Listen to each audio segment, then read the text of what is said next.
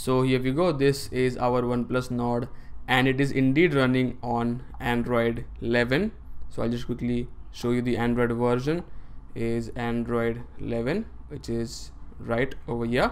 There we go. And uh, yeah i would like to thank the developer on xda for porting this rom onto our oneplus nord. And stay tuned because at the very end i'm going to show you how to flash this on your oneplus nord. It is not the regular process by which you should or you basically flash the uh, any other ROM, but it is a, it is quite a bit different than the other processors. But it's it's pretty simple. So stay tuned for that. Uh, so again, as I said, it is running on Android 11, and this is nothing but a pure stock Android 11 ROM. And again, all the links for this particular ROM will be in the description down below. So do check it out if you want and uh, yeah so i just booted this and this is also my first time trying this out. Uh, so we'll just try out or we'll just basically see few things that this rom provides. And then later we might basically uh, you know compare this with our pixel to see how good it is. So if you go into the home screen settings first uh, you will see a couple of options. And the one thing that i like is the app suggestions. So we now have the suggested apps at the bottom. So if i just swipe this out real quick we'll get another app suggestion and if I just swipe this again we'll get another app suggestion. So one thing is that the GApps are included in this particular ROM. So when you flash the ROM, the GApps are included. So you don't have to flash GApps from outside. All the GApps are included. Uh, so again, so basically with this ROM on the left, we have the Google Now screen. Uh, we have the widget, we have the wallpaper. So if you go into the wallpapers real quick, we'll, we'll see what all wallpapers do we get okay so app isn't installed. So i think we'll have to install the wallpapers app and then we'll basically get the uh, access to wallpapers. So for that you will need to just go into the play store and download the google wallpapers app. If you want i'll give a link in the description down below for that as well. Uh, so we'll just check out what all we have in the settings. So in the apps and notifications uh, one thing uh, that android 11 brought with it was conversation. There you go we have it right over here and if I swipe down again we have the notifications. Oh and okay. So we also have the blur that the stock Android doesn't have. So if you see the background is blurred and okay. So Google's Google's promised that they'll bring this particular feature with uh, in the future updates. But good to see that developers have already started implementing this on the ROM itself. So that's a good thing then going on to the notifications real quick, we also now will have the notification bubbles. So yeah, there we go. We have the bubbles as well. So if you are if you're talking with someone or if you're chatting with someone, you can basically just hit on the bubble and you'll get it right on your phone itself. So good to see that as well. Then going back, so in the battery we have the battery percentage. Uh, it for me it is actually on the very edge of the screen uh, but again it, it don't matter. So for just FYI this is the second build. Uh, the first build was a bit buggy and it did not have Google Apps pre-installed. So now we have Google Apps pre-installed and you don't need to flash separate GApps uh, so this is actually a pretty stable I mean as far as I'm using this uh, it feels stable but we'll just take a look at how stable it is in the full review of this ROM itself. Uh, so in the display if we go I'll, I just want to see if we have the uh, 90 hertz option here or not. So let's see. Display cutout we have tap to wake we have lock screen. Okay so screen refresh rate we have it set to automatic. If we set it to 90 hertz okay so the oh my god okay all right. Do you see the difference? Uh, I'll just switch I'll just switch it to 60 hertz again and just see if you or, or basically automatic again. And do, do you see do you see there's a the difference between 60 and 90 it feels oh my god 90 hertz feels really really good. So 90 again and the display lags lag basically goes away. So in automatic you had this display lag but in sorry in 60 you had the display lag uh, while in automatic. But in 90 oh my god it feels really smooth. I might use this as my daily. Uh, so yeah then again we have our uh, colors. So we have natural okay so okay. So there's just one color. Then we have uh, the dark theme as well. So there we go dark theme and light theme. We, you can also schedule it if you want. Uh, so for this video i'm going to keep it to light then we have the body text or the font basically. Then we have the icon shape. We have the icon pack as well. Uh, so again i think if you go into the settings here okay we don't have these settings to change the icons right over there but we have it in the display itself. So accent color as well. So you can change it if you want to uh, let's say black. And everything now has changed to black. But for this I'll be again keeping it to the display or the default that we get. Uh, then going back we have sounds and I don't think there's nothing new in sounds. We had we had the live captions in the previous update itself. So it says update the software. So I have not logged into my Google account in this ROM. Uh, but if I do I'll basically get the live caption as well. Then we have storage security. Uh, we'll just quickly add our fingerprint and we'll see if it works or not. Let's do the simple one there we go. Done. Next. Okay. So you get the uh, nexus imprint. If i'm not wrong i saw the nexus right over there. Uh, okay so it is actually setting up. And okay so our finger is set up. If i just hit on done and okay was that a bug? I think so. So if i just turn off the screen and if i double tap there we go. Fingerprint works just fine. So wow i mean that's really good. So if i again if i just turn off the screen and then if i double tap and if i just put my finger in there we go. The device just unlocks right away. So that's a good thing. So fingerprint works. And i think we also will have face unlock in smart lock. So okay got it okay so we don't have face unlock here but i mean fingerprint works just fine. So there's no issue in that. Then we have OnePlus settings. So this, this is new. Uh, we have anti flicker uh, so which helps reducing the eye strain in low light conduct conditions by using DC dimming. Okay so this is nothing but DC dimming.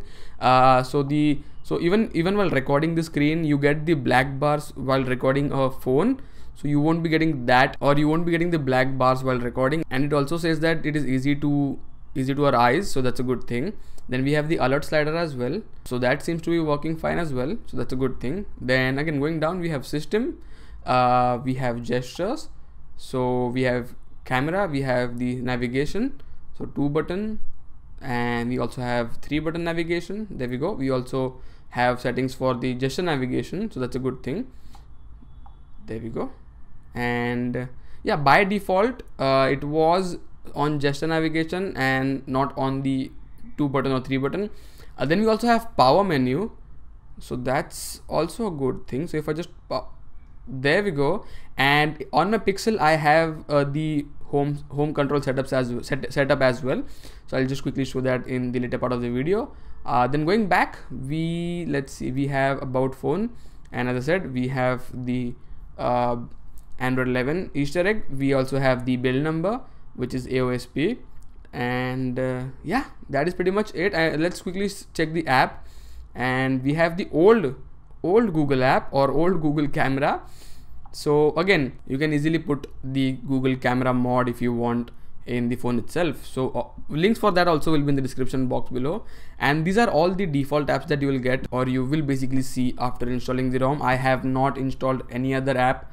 Uh, then again we have the uh, quick toggle menu here as well. So another thing i noticed while uh, you know toggling the wi-fi on is if, if i just tap here you get the wi-fi options right at the bottom which is not the case with the pixels. So in pixel you basically get into the settings of the wi-fi but it's a good thing to see. Uh, i think it will also work for bluetooth. Okay no bluetooth opens in the settings so that's a good thing.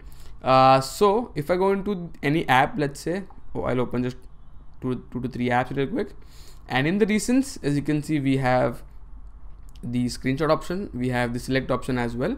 So to select any text from the recents menu there we go. So this is also another thing that was introduced with pixels. Uh, so if i just quickly go into uh, let's say and play a video real quick. So let's say i'm playing one of my videos and let's say if i just close it. Uh, so you don't get anything over here which is the media controls uh, I think I'll just have to quickly enable developer options. I'll just quickly do that. And let's see if we get it in developer options. So in system we have de developer options. Then uh, if by going down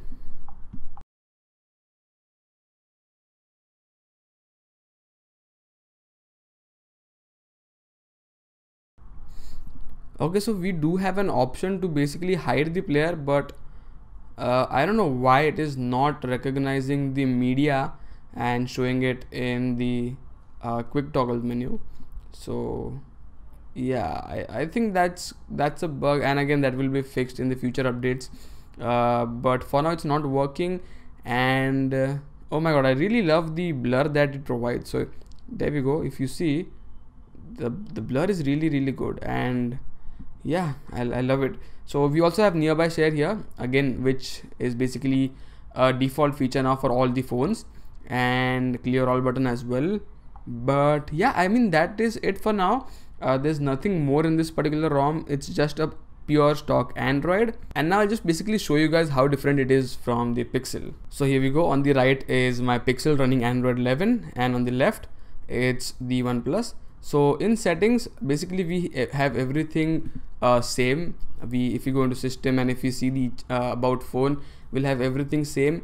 Uh, so the thing I was I was going to show you guys was the media feature. And let's say if I quickly go into my channel and if I play a video real quick uh, I'll basically if I just pause it I'll basically get a setting on my quick toggle menu which is right over here and which will basically give me controls to the uh, media itself. So I don't know why it isn't showing in the OnePlus phone uh, but I mean it's not a big deal. Again it's, it is it's just a second build and it will be fixed in the future updates as well.